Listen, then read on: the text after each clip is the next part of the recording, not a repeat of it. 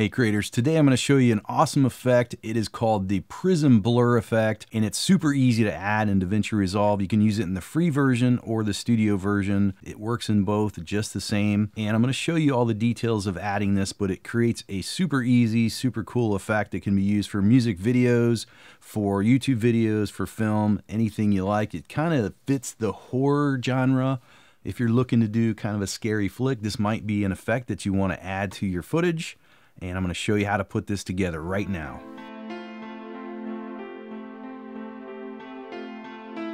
Okay, so we're going to start. We have just a dude here kind of looking at the camera and he's going to kind of stare us down here. And we're going to add this effect and we're going to create something a whole lot different looking with just this simple shot.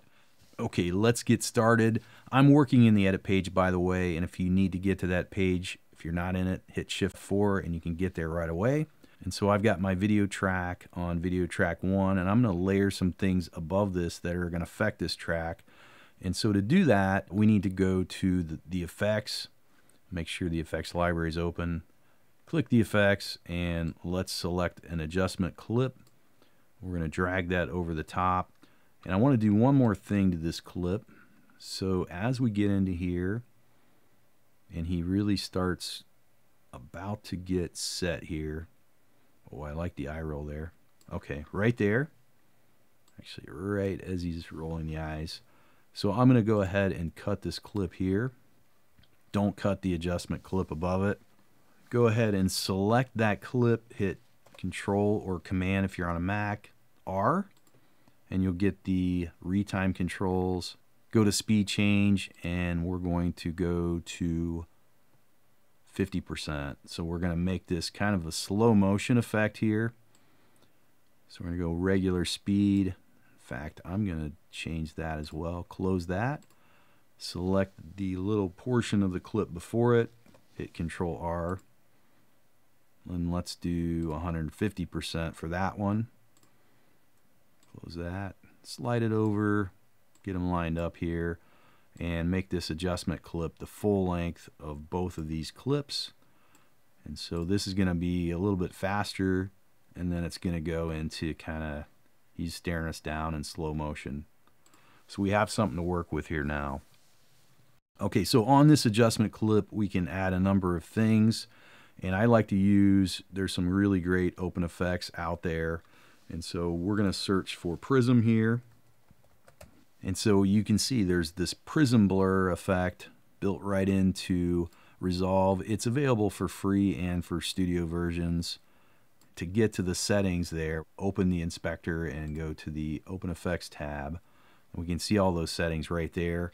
Uh, this does have a vignette built into it. You can see we can adjust that, which is super handy.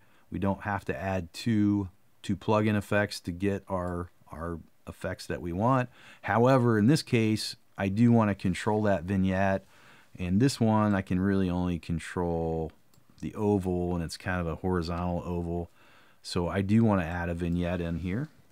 So go ahead and type in vignette, drag and drop that onto the adjustment clip as well. I'm going to go ahead and turn off that prism blur, double click on the vignette so you can operate the controls for that. You can see there's a basic mode, there's an advanced mode, which is what I'm going to want to use. I'm going to try this rectangle and we're going to make the shape a little bit different. Let's pull this size down. That's pretty good. Let's actually go to, to the hexagon. Change this anamorphism down to kind of tighten up on the actual dude here. And let's center it. I'm going to bring it up just a little bit. I don't want to get his hair though and I'm going to bring that size down just a little more. So we're really focused in on his face. Let's make sure we've got that. Yeah this thing's pretty good because it was on a, a tripod. You can see we still have that dude in there kind of walking in on the side. So I'm going to tighten that up just a little bit more. Yeah that's pretty good. Okay so already that's just the vignette effect so let's open the Prism Blur again. Jump on those controls. You can see it added that blur in there already. And so the beginning part, I'm going to go ahead and turn that blur down quite a bit. Animate that. And then when we get into when he's about to slow-mo here, I'm going to hit another keyframe and then I'm going to pop it up to the point two. So we have that blur. And then I'm going to start playing with this aberration. So the aberration is using the RGB values to give it this kind of this depth. And honestly, DaVinci Resolve, this plugin is the easiest way to add this effect. Uh, I've tried to do it in After Effects. It's not quite this simple.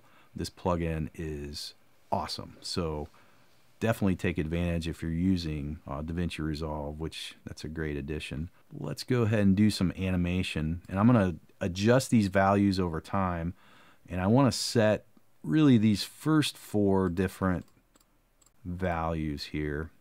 So we have these settings. I'm going to move it up a little bit and I'm going to change the value. So over time, we're going to get these changing effects. So really these two aberration distance and aberration strength can have a lot of effect on your footage here and this Y position in this case.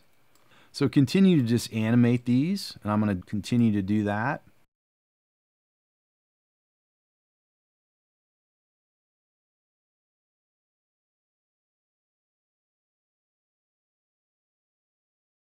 Okay, I think that looks pretty good. And what I would typically do is add some more finishing touches onto this. So now that I've got the prism blur added, I'm going to add some finishing touches and this is going to be something that really makes this clip pop. And so let's go ahead and type in light and we're going to find the light rays. Go ahead and add that to the adjustment clip as well. Open up the settings for this one. So let's go ahead and start the animation with a blend of one and then I'm only going to add this in select areas.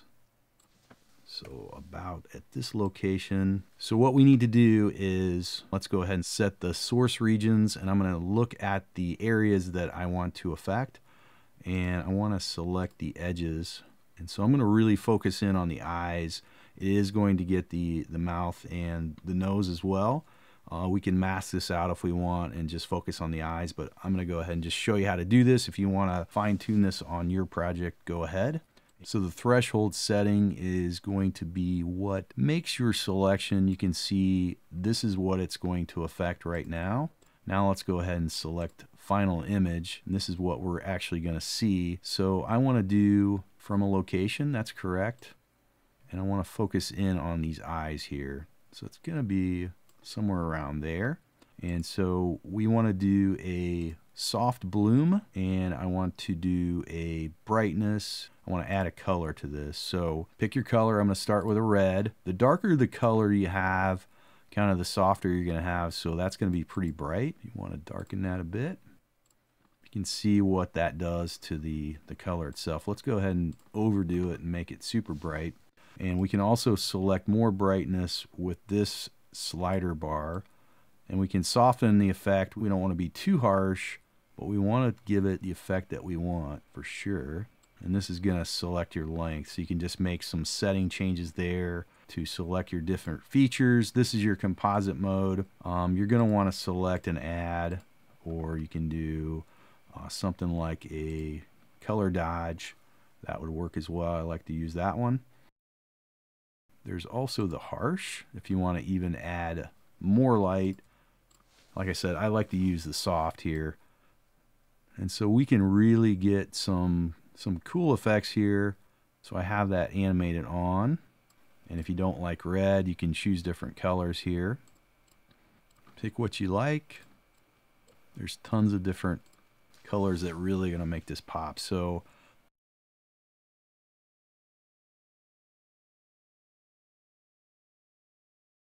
Okay, so that adds just a little bit more of an enhancement to this video uh, to really give it kind of a different look. So uh, what we started with was just such a simple, easy to make clip. Anybody can make this. And we turn this into something quite a bit different that gives it a certain stylized effect, great for different genres.